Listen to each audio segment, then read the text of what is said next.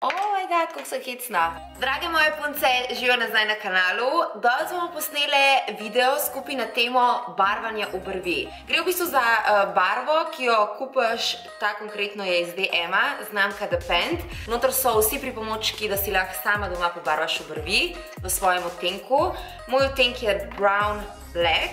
Poleg mojega odtenka sta še dva odtenka na razpolago in sicer rjava in pa črna. Cena, nekje 12 evrov, zadostuje pa za 5 do 7 uporab. Poglejmo, kaj je noter, pa začnimo barvati. Ok, v tej škateljci je gel številka 1, gel številka 2, to je barva. Potem dobiš dve taki krtački, številko 1 gel naneseš na eno in potem številka 2 na drugo. Noter dobiš tudi eno tako mini zaščitno kremo, katero naneseš pod loko brvi in nad loko brvi, zato da se dejansko barva ne prime kože, kar je zelo uporabno. Je ekstra enostavno, ekstra hitro. Notor so preložena tudi navodila, katera si obvezno prebereš, preden se lotaš postopka. Sama zgledam noro hecno brez vrvi, po mojem mnenju, tudi ako mi čakam, da si jih dam gor. In brez dodatnega čeblanja, dajmo jih pobarvati.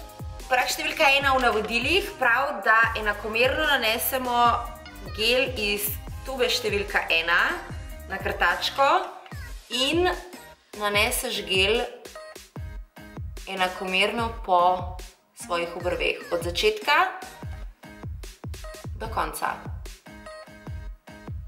Pomembno pri tem koraku je, da zajameš res čisto vse dlačice, da ne spustiš nobenega predela, ker potem tam barva ne bo prijela in bo potem na tistem mestu tudi barva neizrazita. To isto ponovim tudi na drugi obrvi, torej gel nanesel na krtačko in gor na obrv. Počakam, pa pa pa pa pa pa pa pa pa pa pa pa Ok, čakam dve minuti. Joj, to zdaj ni snemal. Uh, vse, kar sem naredila, je, da sem obrisala gel dol z obrvi. Tako, nočemo več gela gor, ker čas je za korak številka 2. Zdaj vzamem drugo krtačko in pa tubo, na kateri piše dvojkica. Ponovno jo nanesem enakomerno na krtačko in zdaj začnemo barvati.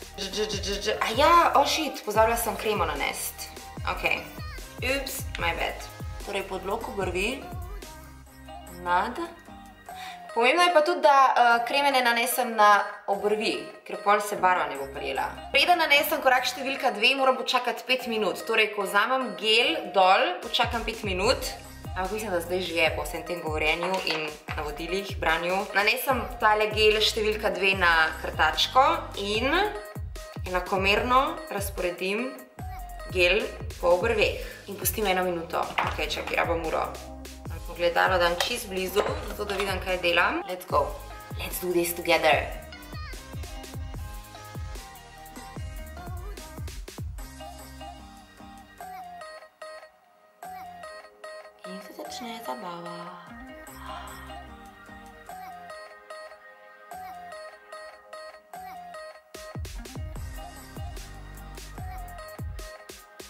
Wow. Nekaj barve sem dobila na kožo. Čim prej probam to obrisati stran, zato da mi ne bo potem žal. In ena minuta teče zdaj. It's time. Ok.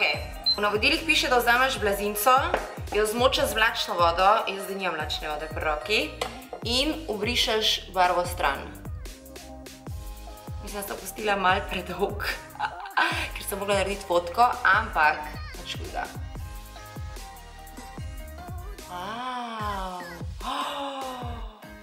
Mislim, da je do zdaj tole najbolj šratal. Pa sem pustila malo več kot eno minuto. Mogoče moram pustiti malo več kot eno minuto. Ok. Ta obrv, ne oboga, je malo drugačne oblike kot druga. Prav je, da to ni nič nenavadenga, ker obrvi nista dvojčici, ampak sta sestri, tako da je normalno, da sta drugačni, a ne? Ok, in zdaj ponovim isti korak, torej iz tube gel številka 2, nanesem po krtački, krtačko sem prej uvrisala s papirjem in v akcijo.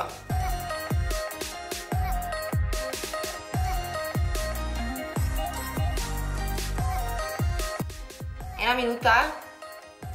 Akcija. Koliko razborljivo je v bistvu barvati obrvi? Kdo bi si mislil? Ok, to je zdaj ena minuta. Ampak jaz bom postila malenkost več. Še 20 sekund več. Obrišem tudi to.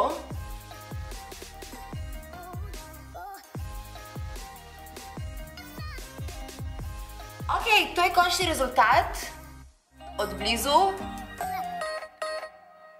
Ful ste vidi, da so pobarvane, sploh če dam sliko pred postopkom.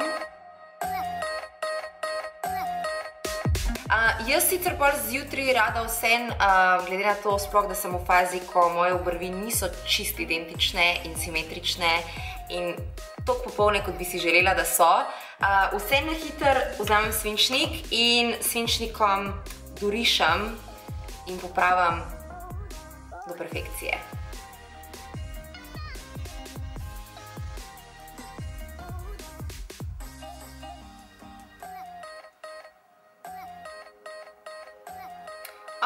Zdaj lepo vidi, torej desna obrv zapolnjena z svinčnikom. Na tistih mestih, kjer barva ali ni enakomerno prijela, sploh tle na začetku, torej v glavi, se mi zdi, da malo spali, torej desno obrv napram levi. Veliko bolj gosta, veliko bolj košata deluje desna, kot pa leva, ko vse ima neki delčkov, neki praznih mest vmes. Tako da, zapolnimo še levo in jo probamo približati desni.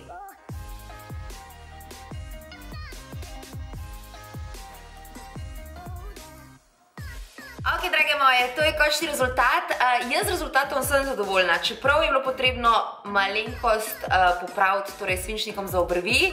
Moram reči, da se mi zdi to ena taka enostavna, hitra rešitev za vse tiste punce, ki nismo bile blagoslovljene z močnimi, lepimi obrvmi. Res je sicer, da zdržijo en teden, torej barva ostane nekje en teden, več ne bi računala, glede na to, da si tuširamo, da si umivamo lase, da si dajemo make-up dol, barva po mojih izkušnjah zgine po enem tednu in definitivno ne zdrži do šest tednov, tako kot le piše. Te stvari, ki dobiš noter, ti bodo zdržale, na embalaži piše od 5 do 7 postopkov. Jaz sem do zdaj naredila torej 3, vključno s tem videom in tube so še kar še kar polne. Ja.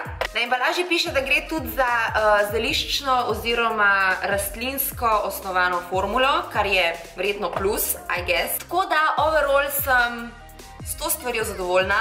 Ne vem sicer, če bi jo še enkrat kupila, ker vsem verjamem, da s svinčnikom lahko dosežeš ravno tako hitre, učinkovite rezultate.